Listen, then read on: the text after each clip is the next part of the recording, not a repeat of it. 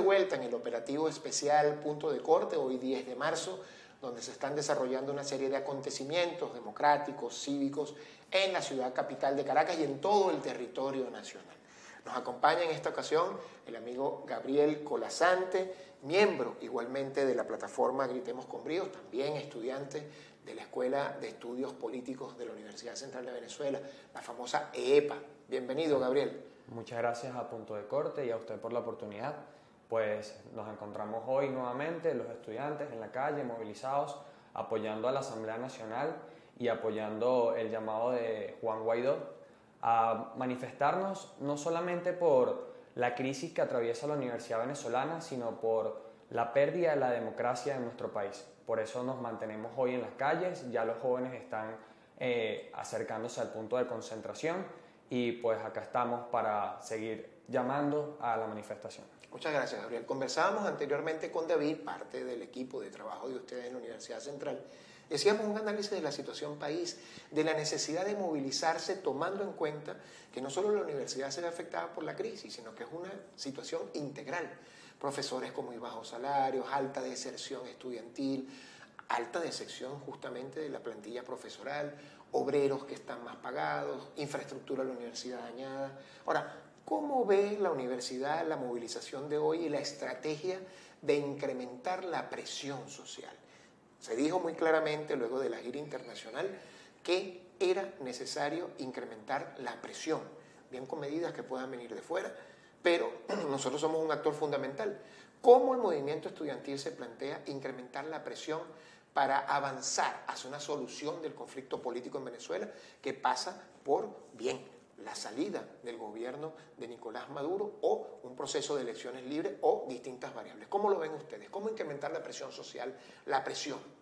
Bueno, los estudiantes desde el año pasado, específicamente desde el mes de agosto en el que el Tribunal Supremo de Justicia que no cumple con las condiciones para ser reconocido como legítimo, amenazó a las universidades, específicamente a las nueve autónomas que tiene el país, con la sentencia 0324.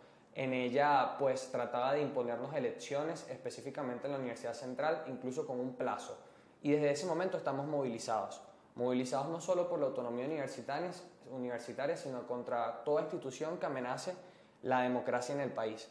Y es por eso que hoy nosotros decidimos participar el movimiento estudiantil convocaba a la Interú, las diversas universidades que hacen vida, al menos acá en la ciudad de Caracas, pues se están movilizando, convocaron, eh, realizamos el proceso dentro de la universidad para llamar a los estudiantes a participar y estamos a favor de que es necesario eh, retomar esta agenda de presión interna.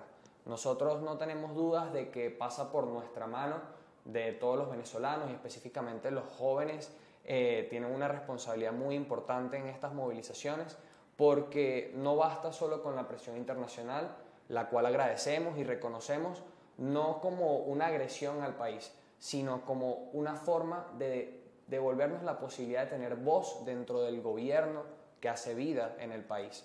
Y por eso nosotros eh, nos mantenemos en movilización, no solo por la autonomía universitaria y por las condiciones a las que someten a la Universidad Venezolana, sino por la crisis dentro del sistema político nacional. Nosotros apoyamos a la Asamblea Nacional Venezolana, apoyamos la estrategia de Juan Guaidó de aumentar la presión interna y esa es la postura del movimiento estudiantil venezolano. ¿Y cómo manejar, Gabriel, la, frustración? Fíjate, muchas personas pueden decir, perfecto, vamos a marchar de nuevo. ¿Qué pasa el día después? ¿Cómo manejar ese efecto en la población estudiantil, en la población de obreros, incluso en algunos docentes, que luego de ser tal vez actores movilizadores, son actores de movilizadores, ¿no? Y dirán, bueno, no perdamos clases, concentrémonos en las clases. ¿Cómo manejar esa estrategia de manera combinada? ¿Qué hacer?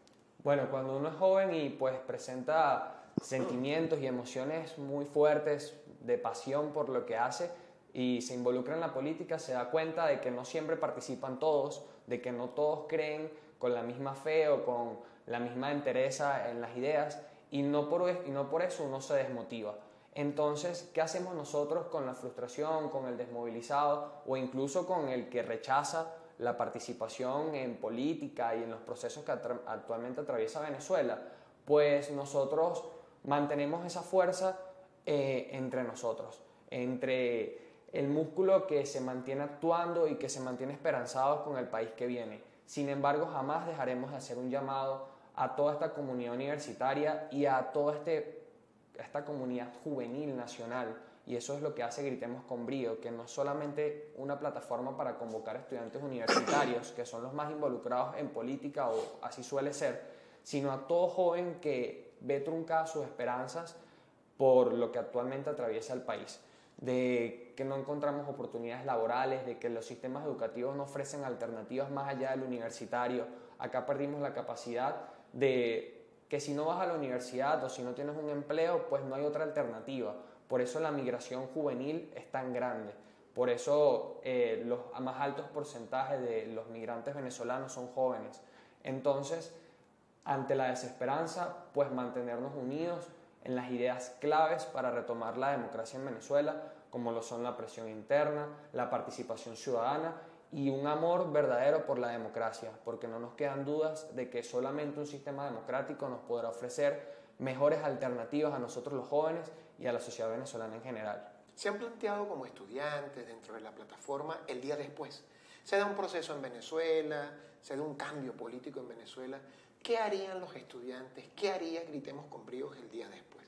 ¿Dónde se ven ustedes participando de manera activa, de manera protagónica en la reconstrucción del país? Bueno, nosotros realmente, créame que si hemos pensado este escenario, lo hemos imaginado y lo estamos construyendo. Nosotros en el plano universitario tenemos propuestas muy claras para verdaderamente convertir a la universidad en un espacio productivo, verdaderamente al servicio de los venezolanos. No una universidad que tenga que preocuparse por la protesta constante por sus presupuestos, por la protesta constante por sus reivindicaciones, sino una que realmente le brinda a los jóvenes la posibilidad de dedicarse a sus estudios y que esté acorde con las exigencias, no digamos, y seamos sinceros en esto, de los más altos estándares mundiales, porque eso lleva muchísimo tiempo, muchísimos recursos y Venezuela salvo que hagamos las cosas de manera excelente, pues le costará años retomar una senda de prosperidad alta. Entonces nuestras universidades deben estar acordes con lo que quieran los jóvenes, con una capacitación que realmente le ofrezca una oportunidad laboral en lo inmediato. No las universidades que tristemente tenemos hoy en día, en la cual un título no representa una garantía de un ascenso social o de una movilidad social o incluso un empleo en el sector en el cual tú estudiaste. Entonces una universidad que se adapte gracias a el apoyo de nosotros como estudiantes, ya sea no solamente con nuestra participación, nuestro estudio constante, sino incluso con nuestra posibilidad monetaria. Nosotros queremos universidades que realmente pues estén con la solvencia económica como para ofrecer estas condiciones necesarias para el crecimiento económico. Venezuela cayó en un bache muy profundo de pobreza. Ese no hay otro nombre. La sociedad venezolana está actualmente sumida en una pobreza muy grande y las universidades y la educación en general son el camino para revertir eso. Pero cuando se adapta a modelos eficientes de administración y competitivos con la región y competitivos con las universidades que realmente están ofreciendo alternativas de productividad a los jóvenes. Gabriel, un mensaje, estamos terminando la intervención, sabemos que van de manera directa aquí a participar en la concentración que se está haciendo en estos momentos en la ciudad de Caracas. Un mensaje a los estudiantes que te están viendo, aquellos que tal vez todavía no se han movilizado, que están en la universidad, que tienen cierto temor porque es obvio, eh, hay un despliegue muy importante de cuerpos represivos que posiblemente no permitan que la concentración llegue hacia su lugar de destino, como debe ser, que es la Asamblea Nacional. ¿Cuál es el mensaje de esos estudiantes hoy que pudieran de una u otra forma eh, recibir, como lo han hecho durante los últimos años, esa represión eh, desproporcionada de los organismos de seguridad del Estado.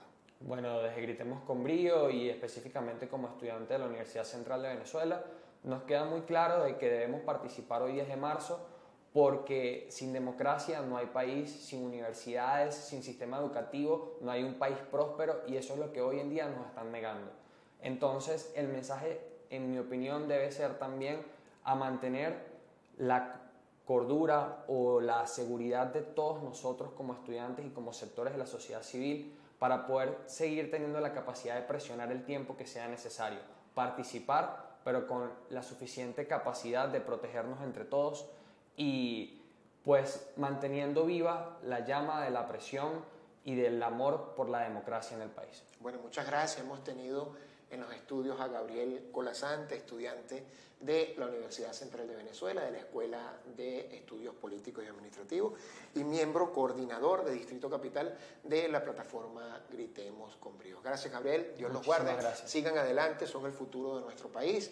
Nos vamos a mantener en comunicación permanente a través de nuestra plataforma Periscope en Twitter de punto de corte para que estén informados de los acontecimientos que se están desarrollando acá en Venezuela, en la ciudad capital y a lo largo y ancho del territorio nacional.